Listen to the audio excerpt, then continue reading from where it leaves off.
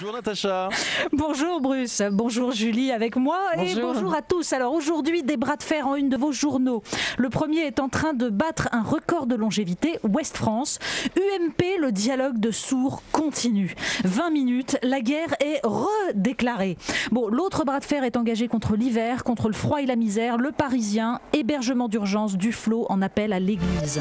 Mais les unes de la presse nationale sont essentiellement consacrées à Mittal et surtout à Arnaud Montebourg. Avec la même photo en une du Figaro et de Libération, il a la tête baissée, la mine dépitée. Autour de lui, les vestes oranges des ouvriers de Florange. Mais le titre n'est pas le même. Pour Libération, c'est le jour où Montebourg a voulu démissionner. Pour le Figaro, le cas Montebourg fragilise Hollande. Alors, on sent hein, dans la double page et l'édito du Figaro une satisfaction à peine contenue. Un ministre affaibli, la méthode Montebourg désavouée. Oui, parce qu'au diable l'avarice, hein, si on peut en remettre une pelletée dans chaque article, faut pas hésiter. Alors, la plus belle, je vous la donne, le Figaro interroge. Sa légitimité à se mêler de stratégie des entreprises, il la tient du peuple français, entre guillemets. Donc rétorque avec superbe celui que Pierre Moscovici, le ministre de l'économie dont le bureau est situé plus haut à Bercy, appelle le camarade du troisième. Bah oui, on allé chercher les bons potes.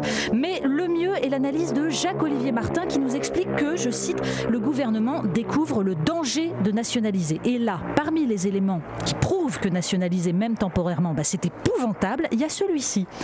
Une telle option a suscité beaucoup d'espoirs déçus auprès de syndicalistes qui finissent par douter de l'action du gouvernement. Je vous jure, le vrai danger de la nationalisation, c'est que quand le Premier ministre recule en race campagne, eh ben, les ouvriers sont déçus. Alors dans Libération, on a surtout le récit du non-arbitrage de François Hollande et des petites vengeances de Jean-Marc Ayrault contre celui qui avait autrefois voulu lui ravir la présidence du, du groupe PS à l'Assemblée. Donc Montebourg a failli démissionner, nous dit Libération, mais Hollande l'a retenu. Pensez donc comment est-ce qu'il pourrait prouver qu'il est de gauche?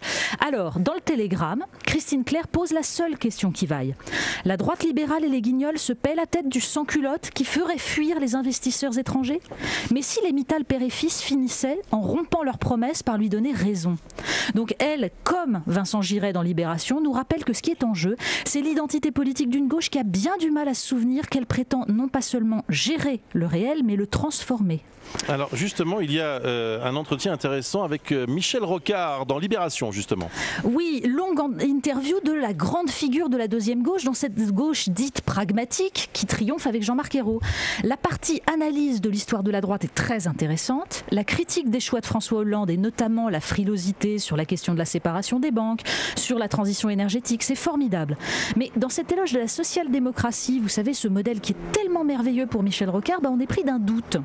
D'après D'après Rocard, avec les communistes, les fascistes et le grand capital, ben, c'est le seul courant politique du XXe siècle qui a survécu. Il oublie seulement que c'est celui qui a été incapable de résister aux horreurs des trois autres. Alors je rappelle que nous sommes, si vous venez de nous rejoindre sur Europe 1, que nous sommes en direct de, de Kaboul pour une matinale exceptionnelle. Et euh, il faut signaler un article du Parisien, Natacha, qui évoque ces soldats français qui reviennent d'Afghanistan. Oui, c'est une page consacrée au récit de Xavier, 24 ans, touché par un obus dans la vallée de la Capissa. Alors il y a la blessure physique, la cicatrice, mais il y a surtout ce mal invisible qu'on appelle le stress post-traumatique. Donc les cauchemars, la culpabilité d'avoir laissé les autres là-bas et l'incapacité surtout à revenir à la vie normale. Tous ces jeunes gens qui ont grandi dans des sociétés de paix, d'opulents, et qui se retrouvent tout à coup confrontés à l'angoisse, à l'horreur. Et on commence seulement aujourd'hui à s'apercevoir que la guerre, bah, ça ne s'arrête pas quand ils rentrent chez eux. Un article dans le monde également oui, parce que ça, c'est un cas d'école. C'est très intéressant et ça concerne beaucoup de Français. Un gamin de 13 ans qui avait incendié un gymnase. Donc, il a été jugé et la Cour de cassation vient de décider que puisqu'il réside chez sa mère et que le père n'a qu'un droit de visite et d'hébergement, elle est seule à devoir payer des dommages et intérêts au nom de sa responsabilité civile. Eh bien, moi, je dis que c'est un argument en faveur de la garde alternée. Hein. Le clin d'œil du jour.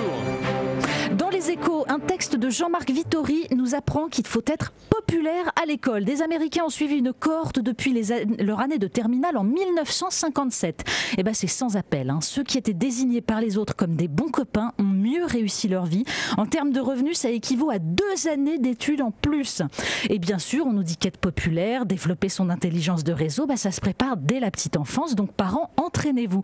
Alors je vous dis tout de suite, moi j'ai raté ma vie visiblement et je me rassure en me disant que Flaubert, Jaurès, De Gaulle, tous ces gens-là, ils ne devaient pas être très populaires enfant.